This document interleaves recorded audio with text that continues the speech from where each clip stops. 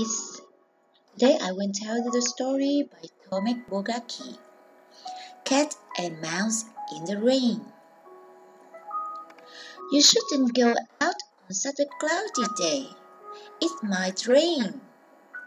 The little mice said to their sister. But she didn't pay attention. She wanted to meet her friend in the green meadow. Go out on such a cloudy day. It might rain. The little cats said to their brother.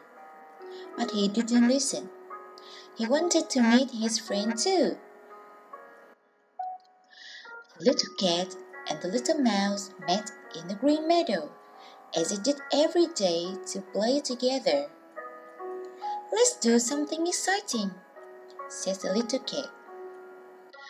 Can we do anything exciting? It is starting to rain, said the little mouse. What a wonderful day, said a voice above their heads. Are you afraid of the rain? asked the frog. No, said the little mouse uncertainly. No, said the little cat doubtfully. Follow me, said the frog, jumping right into a puddle. The mouse jumped into the puddle too, making a big splash. Then the cat jumped into the puddle, making a bigger splash.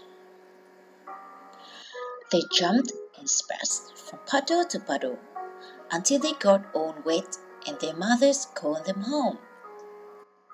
We played the frog in the rain and had so much fun, said the little mouse to her sisters. How could you have fun in the rain? They asked. We had so much fun in the rain. We played with a frog, said the little cat to his brothers. How could you play in the rain? They asked.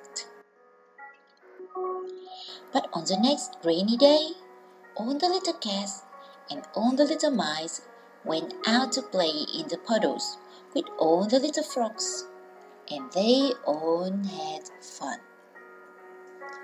The end.